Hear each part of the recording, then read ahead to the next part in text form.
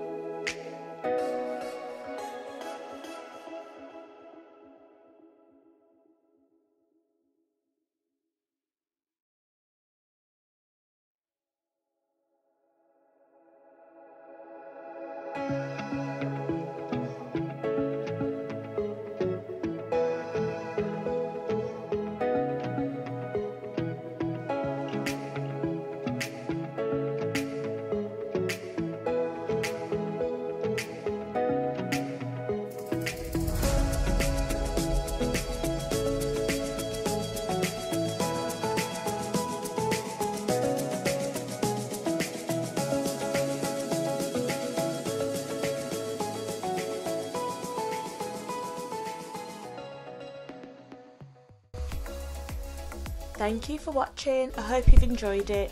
Don't forget to like, comment and subscribe.